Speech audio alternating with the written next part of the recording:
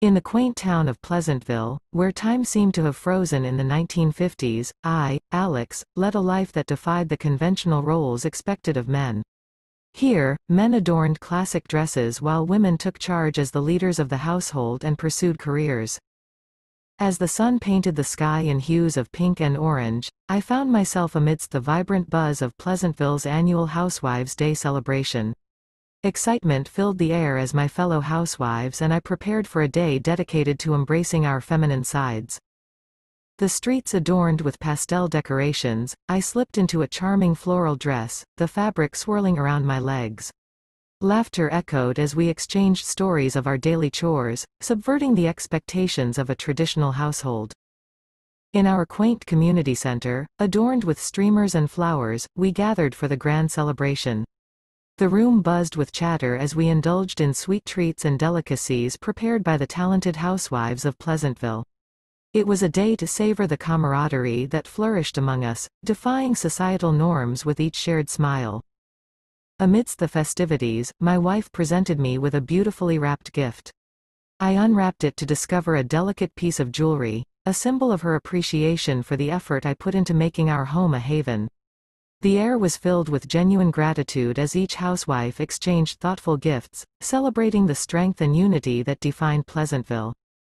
As the day unfolded, we engaged in lively games and danced to nostalgic tunes. The joyous atmosphere transcended gender norms, creating a haven where authenticity flourished. The day served as a reminder that in Pleasantville, our roles may be unconventional, but the bonds we shared were timeless. In the quiet moments after the Housewives' Day celebration, my wife and I found ourselves strolling through the serene streets of Pleasantville. The soft glow of street lamps illuminated our path as we reveled in the contentment that a year in this unique town had brought us. I can't believe it's been a year already, I remarked, a genuine smile playing on my lips. Being your housewife in Pleasantville has been such a rewarding experience. My wife, her eyes reflecting the same happiness, nodded in agreement. You've brought so much joy into our home, Alex. I've never felt more supported and loved. We reminisced about the challenges we had overcome and the laughter we had shared, acknowledging the profound shift in our roles and the strength it brought to our relationship. Pleasantville had given us a chance to redefine our partnership, transcending societal expectations and embracing a dynamic that felt authentic to us. I've never been happier, she confessed, squeezing my hand affectionately. And I can see the difference it's made for you too. As we continued our walk, the conversation took a surprising turn. My wife, with a twinkle in her eye, pulled out a small velvet box. I have something for you, something that symbolizes the freedom we've found here. I opened the box to find a pair of delicate earrings, but underneath them lay a voucher for breast implants. I looked at her, a mix of surprise and gratitude in my eyes. It's something you mentioned in passing a while back, she explained.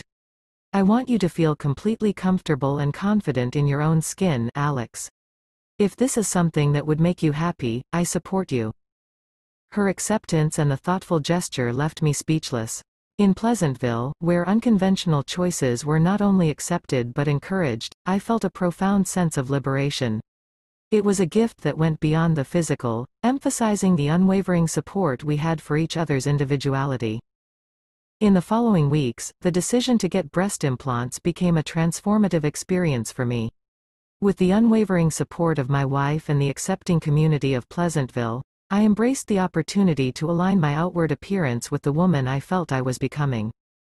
The day of the procedure arrived, and I found solace in the caring hands of the skilled medical professionals in our uniquely progressive town.